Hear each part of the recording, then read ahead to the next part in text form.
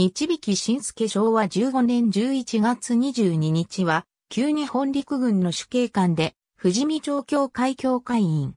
妻は、川本鶴吉の姉、かよ、響養慶養豚場経営、響道夫は子、響食品代表非引分南寺は孫、響代表取締役、響義春は彦。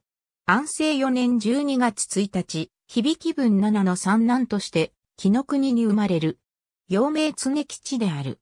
1880年1月に陸軍士官学校に入校し、1882年12月25日に卒業し、陸軍不表彰位に任命される。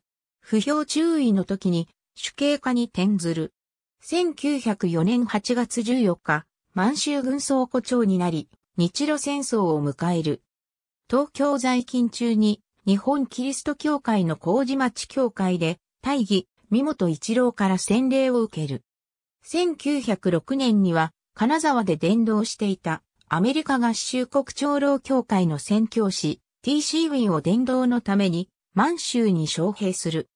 1911年に陸軍司令官になり、1914年に予備役となる。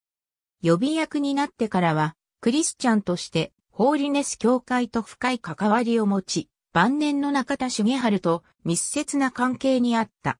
第一次世界大戦中は日本キリスト教青年会同盟を代表して連合慰問師団長として西部戦線に赴く。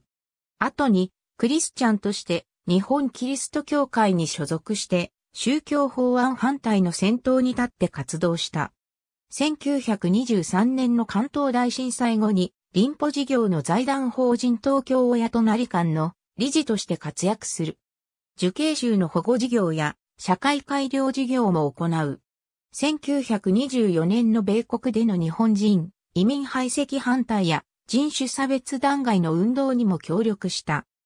1929年の日本ホーリネス協会の年会に出席して宗教法案反対キリスト教同士会の趣旨に従ってホーリネス協会と提携して、宗教法案反対運動をすることを決議した。1933年5月、富士見町協会第三代目主任牧師、三好努と満州伝道について語り合い、満州伝道会を結成した。会長に就任した。日史事変の時東和伝道会となる。日引きは晩年の中田茂春に影響を受け、中田と深い関わりを持った。1933年ホーリネス分裂事件の際に、朝廷に尽力する。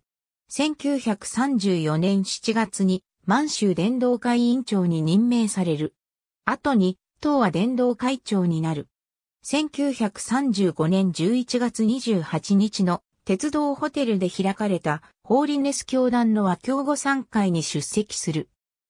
清め教会発足以降は1937年12月25日の清め教会の発会式に松山常次郎と安倍義宗らと共に出席して、1938年6月25日の東京聖書学院の火事の時に中田茂春邸を訪問し、1939年7月17日にメソジスト釘宮達夫監督と共に病床の中田茂春を訪問するなど中田茂春と密接な関係を持った。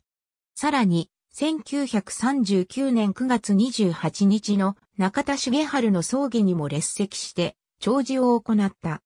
1940年10月17日に開催された後期2600年奉祝全国キリスト教神徒大会の万歳報奨を担当。